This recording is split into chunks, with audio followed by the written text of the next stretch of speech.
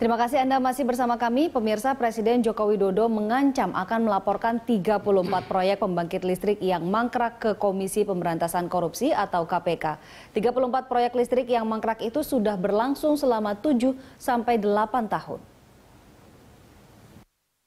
Saat membuka rapat terbatas terkait perkembangan proyek listrik 35.000 MW, Presiden Joko Widodo mengancam akan melaporkan 34 proyek pembangkit listrik yang mangkrak selama 7 hingga 8 tahun ke Komisi Pemberantasan Korupsi atau KPK.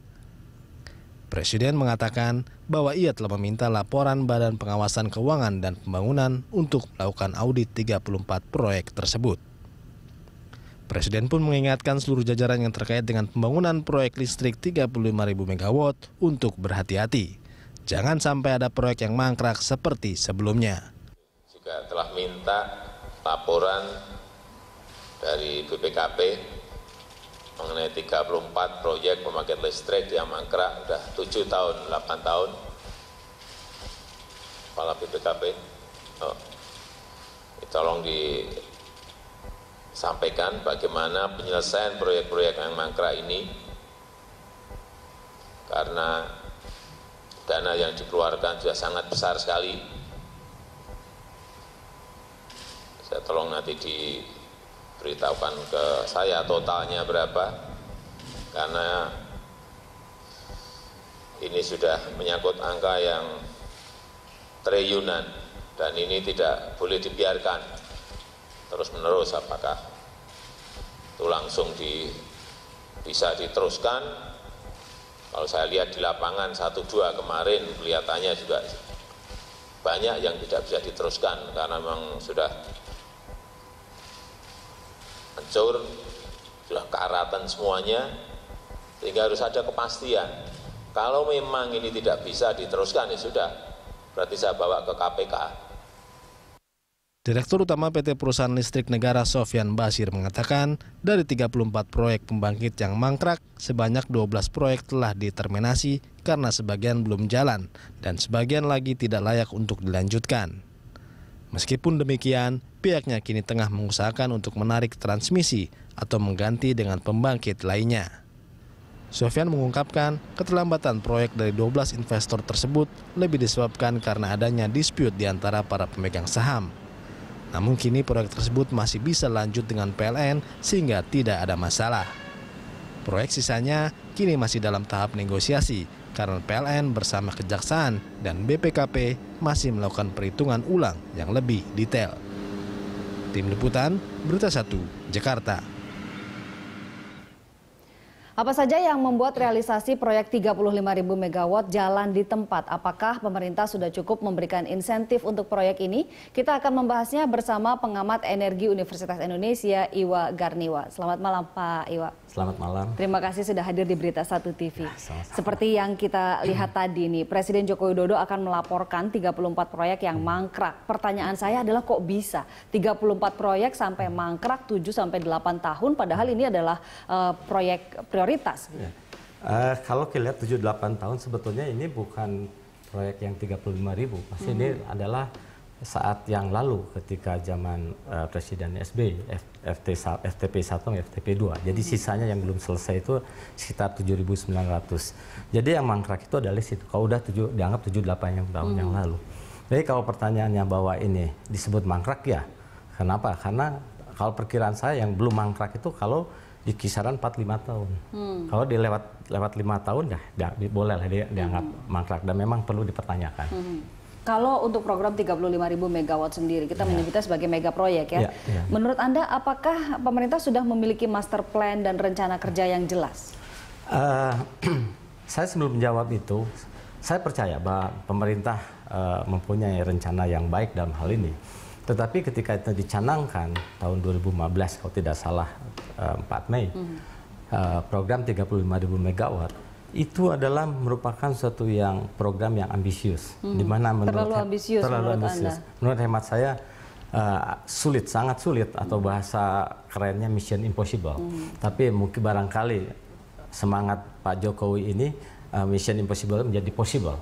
Hmm. Tapi bagaimanapun juga kita tidak bisa lepas dari kondisi real yang sebenarnya di lapangan, yang tidak sesederhana yang di dalam pikiran. Hmm. Jadi uh, saat ini seolah-olah sekarang ini bahwa kemajuannya kecil, tetapi sebetulnya kalau kita melihatnya itu adalah karena ekspektasi kita.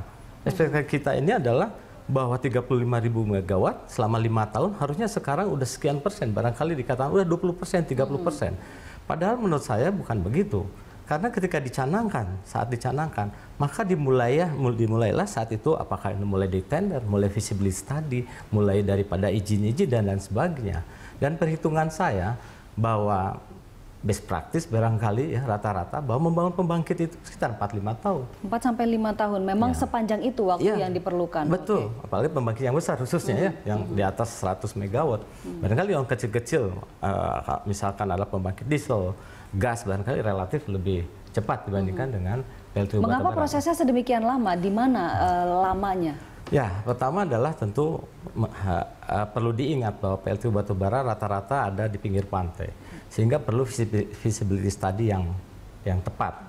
Visibility study di, di situ selain ada AMDAL, kemudian juga keamanan di wilayah situ juga adalah bagaimana dia masuk di dalam sistem yang terintegrasi. Okay. Misalkan di Jamali itu sistemnya, semua itu harus dilakukan.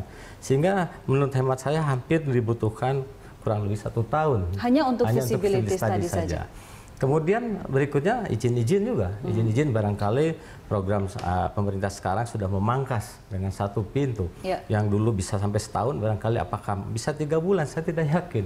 Karena tidak sesederhana itu izin daerah. Hmm. Ingat bahwa ketika dibangun, ketika di, di, di program dicanangan 35 megawatt itu belum menurut hemat saya belum melalui bahwa RT RW hmm. melalui tata tata ruangnya, hmm. tata ruang kan itu juga harus masuk. Jadi pemerintah seluruh pemda-pemda yang ada di Indonesia ini harus mengikuti harus uh, ketika jadwal merubah tata ruang itu menjadi satu waktu. Hmm. Nah kemudian masa konstruksi, setahu saya pembangkit yang besar uh, kurang lebih sekitar tiga tahun. Jadi otomatis empat lima tahun. Dan ini adalah best practice di ya, negara-negara ya, ya, yang lain. Ya, Ya, hmm. Standarnya itu. memang begitu ya. ya. Oke, baik. Uh, bagaimana dengan uh, pembiayaan? Menurut Anda untuk mega proyek ini apakah memang ada masalah juga dari sisi pembiayaan? Lah, tidak selama pemerintah ini program pemerintah harusnya uh, menurut saya ini jaminan pemerintah ya. Artinya ini program pemerintah kemudian untuk uh, melistriki masyarakat. Jadi soal pembiayaan itu uh, menurut saya tidak sulit. Hmm. Tidak sulit bagaimanapun juga apalagi kalau saya melihat dari uh, ketika PLN melakukan revaluasi yang menyatakan uh, aset PLN itu mencapai 700 triliun, bahkan kalau nggak salah uh, diperbaiki menjadi 1000 triliun. 700 atau 1000 triliun paling tidak tiga kali daripada itu artinya PLN mampu uh, apa akan dipercaya untuk meminjam selama tiga kali ya, hmm. maaf tiga kali daripada itu sekitar 2000 sampai 3000 triliun. Hmm. Sedangkan program ini 1600 triliun. Kalau saja itu kalau saja melihat itu seharusnya swasta pun eh, tidak perlu dilibatkan PLN pun akan mampu. Mm-hmm. Kalau melihat begitu, mm-hmm. artinya da, dengan aset PLN itu meminjam kepada bank baik lokal maupun internasional harusnya pembiayaan tidak ada masalah. Jadi bisa dibiayai dengan ya. uh, eh, APBN atau APBD begitu? Uh, menurut saya bukan APBN, kali pinjaman pinjaman PLN, hmm. PLN menurut saya. Dari PLN. Ya. Jadi sebenarnya Anda melihat PLN mampu menyelesaikan proyek ini? Harusnya, menurut saya, hmm. harusnya. Hmm. Tapi, Tapi kenyataannya kan Direktur Utama PLN sendiri menyatakan sampai saat ini progresnya baru sekitar 40 ya. sampai 41 persen. Uh, uh, begini, uh, kan kenyataannya adalah bahwa ini program pemerintah bukan program PLN. Oke. Okay. Yang di yang yang ditugaskan PLN. Uh mhm. Artinya bahwa listrik ini memang uh, karena undang-undang menyatakan PLN yang yang boleh jualan istilahnya itu ya. Sehingga eh, 35 ribu itu dibelah 25 ribu uh, swasta, 10 ribu PLN. Uh -huh. Artinya PLN dalam hal ini mengurusi sepuluh ribu. Yeah. Sepuluh ribu. Dia harus concern situ. Jadi kalau mau nilai PLN yang sepuluh ribu itu. Mm-hmm. Sedangkan dua puluh lima ribu ini ke swasta. Yang tanggung jawab siapa? Jangan jangan PLN sendiri. Yang tanggung jawab pemerintah. Mm-hmm. Karena bagaimana mengundang investor itu bukan tanggung jawab PLN. Mm-hmm. Kira-kira gitu. Nah, dua puluh lima ribu ini uh, bahwa yang mengundang mengundang uh, pemerintah terhadap swasta. Nah, persoalannya sekarang adalah bahwa uh, bahwa apakah swasta ini swasta yang mana hmm. gitu swasta yang mana ya yang mana yang akan dipercaya menjadi uh, apa yang mengambil bagian dari 25 ribu megawatt hmm. saya kira uh, itulah persoalannya jadi persoalannya hanya hanya ada pemerintah uh, eh, PLN dan swasta. Kalau ini okay. bisa 25 ribu. Nah, inilah yang yang yang menurut saya kalau kita menilai itu juga saya sudah sampaikan tadi di awal bahwa pertama menilai itu jika kita saya belum melihat bahwa sekarang menyatakan oh sekarang kelihatannya akan gagal. Saya tidak begitu karena hmm. melihat dari waktu. Kemudian juga melihat siapa yang bertanggung jawab tidak boleh semata-mata PLN sendiri. Okay. Gitu. Pemerintah okay. sendiri bagaimana mendorong okay. yang 25 ribu tadi. Oke, okay, kita akan diskusi lebih banyak mengenai okay. peran swasta di sini ya. karena komposisinya cukup besar ya, besar. 25 ribu, 25 ribu megawatt. Ya. Tapi saya harus jeda dulu Pak Iwa, ya. kita akan lanjutkan okay. di segmen berikutnya. Pemirsa jangan ke mana-mana, kami akan kembali.